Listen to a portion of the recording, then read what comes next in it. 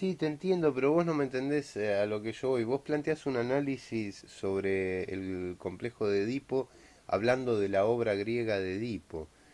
Y... Es lo que toma como base Freud. Pero no la toma del- desde el modo que vos lo estás planteando. Freud lo toma desde otro lugar completamente diferente y te lo voy a explicar. Yo te escuché hasta el final, hablaste como 15 minutos, te quiero decir algo. Préstame atención. El psicoanálisis es A.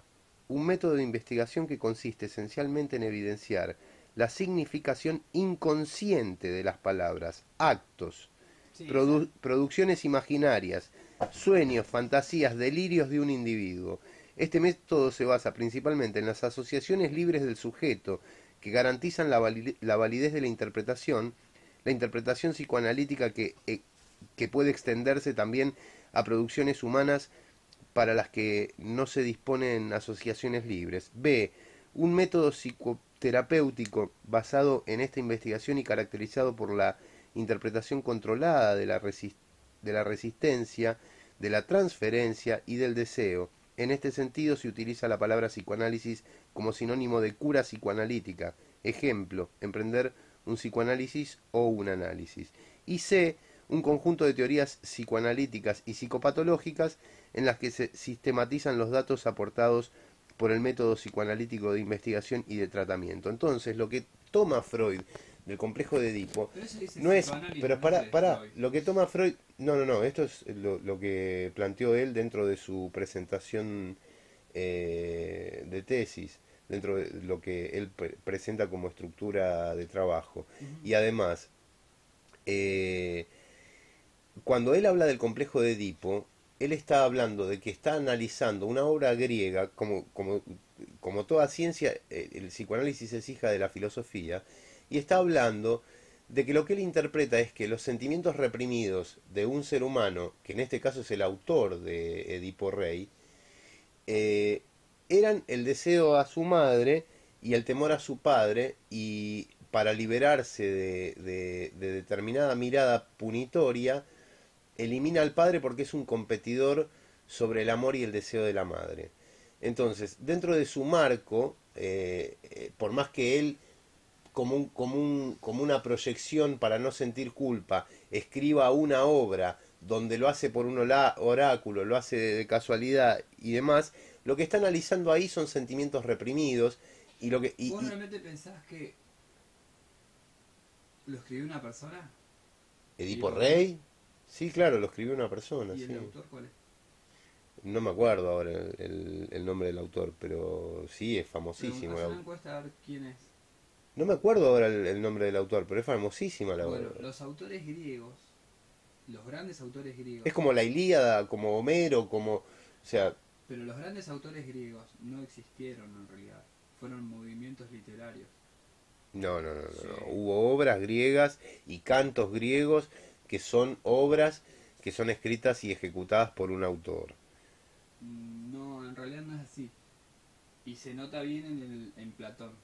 Entre la primer, entre el, porque Platón está en la... Pero aparte me estás cambiando de, No, de- pero para el tema de idea. discusión. No es un autor, es, es una construcción de Estado lo que, lo que generó esa obra, no es un artista, no es una obra artística, es una obra para educarse. Para No, educar. eh, Pensá, pará. no existía Nosotros educación. estábamos hablando del psicoanálisis, de, de, de qué... ¿De dónde viene? de dónde viene.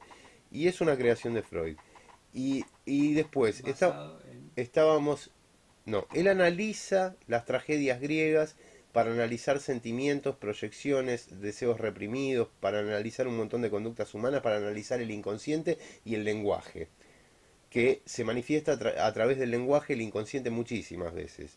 Entonces, lo- eh, el planteo, que- a ver, cuando Jim Morrison agarra y canta mm, el, el genial tema The End, el final, This is the End, él, él hace una traspolación de, de Edipo Rey. Hace una traspolación, por eso dice, y lo censuraron, pero en la canción original decía, eh, el asesino camina por el pasillo hasta la casa del hermano y lo mata, hasta la habitación del hermano y lo mata, camina hasta la habitación de la hermana, camina hasta la habitación del padre y lo mata, camina hasta la habitación de la madre y le dice, madre, sí, hijo, le contesta la madre, quiero cogerte, dice.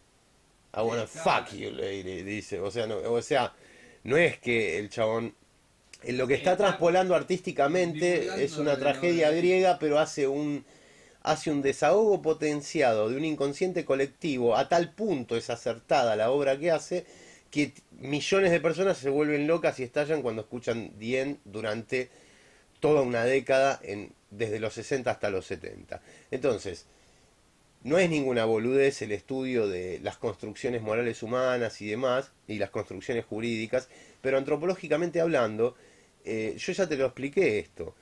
Freud había, tomado determinada línea antropológica para desarrollar sus teorías y había omitido otras. Wilhelm Reich incluyó otras y le rompió el culo en algunas temáticas, no lo quiso aceptar nunca, y de hecho Lacan agregó otras situaciones, Foucault agregó otras situaciones, y hay miles de tendencias y vertientes psicológicas. Tenés a Peirce, a Jung, tenés a um, Arthur Janov, tenés a... O sea, hay infinidad, es interminable.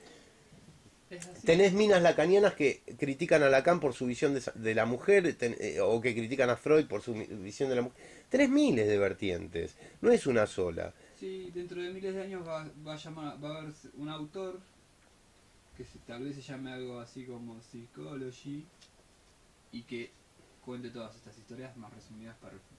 Porque es así como funciona conocimiento. Se condensa en una época, se le da un nombre autoral Y a, todo, seres humanos se pierden. y a todo eso deberías agregar la carta a los poderes que eh, ejerce Antonín Artaud cuando los delata en una situación, delata a toda la estructura, la estructura carcelaria del sistema eh, de los, de los eh, guardapolvos blancos de médicos, ¿no?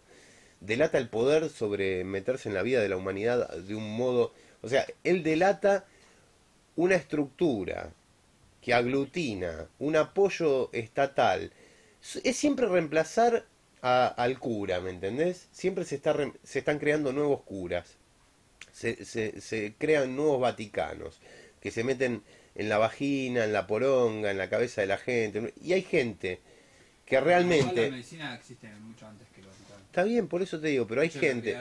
Perfecto, pero hay gente que realmente hace cosas buenas dentro de la ciencia psicológica y hay gente que es una mierda, como en todas las cosas de la vida.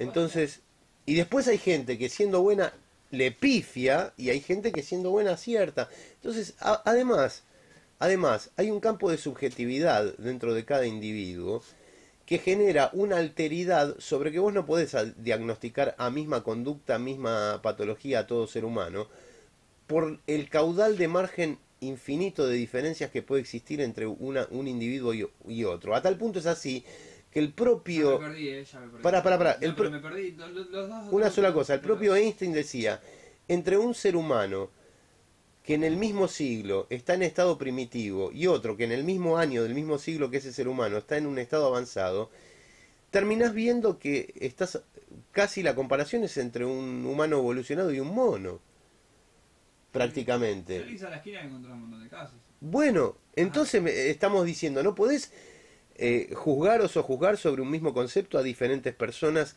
con su alteridad de subjetividad puntual. Es imposible.